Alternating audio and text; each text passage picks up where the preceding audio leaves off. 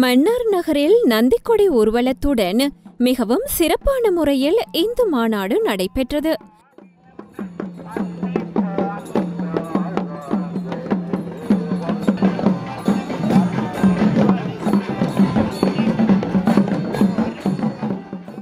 சர்வதேச இந்து இளைஞர் பேரவையின் ஏற்பாட்டில் மன்னார் மாவட்ட அறநெறி பாடசாலைகளின் இணையத்துடன் மன்னார் நகரசபை மண்டபத்தில் இன்று இந்நிகழ்வு மிகவும் சிறப்பாக நடைபெற்றது.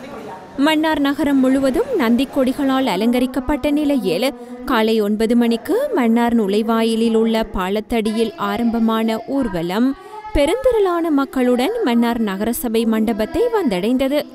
ஊர்வலத்தில் நடராஜர் சிலை கொண்டுவரப்பட்டதுடன் நந்திக் கொடிகளையும் ஏந்தியவாறு மக்கள் சென்றனர். நகரசபை கலாசார மண்டபத்தில் அரங்க நிகழ்வுகள் இரு அமர்வுகளாக நடைபெற்று வருகின்றன. காலை நிகழ்வுகள் ஸ்ரீலஸ்ரீ ஆறுமுக நாவலர் அரங்கில்.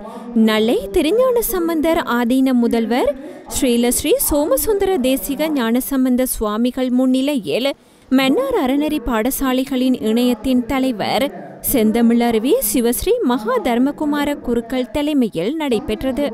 நடந்த அனைத்து விடயங்களையும் ஆவணப்படுத்தி இந்த நவீன கல்விகளிலே கொண்டு வந்து உங்களுக்கு தெரியும் விமான அங்காலே கொண்டு போக முடியாது.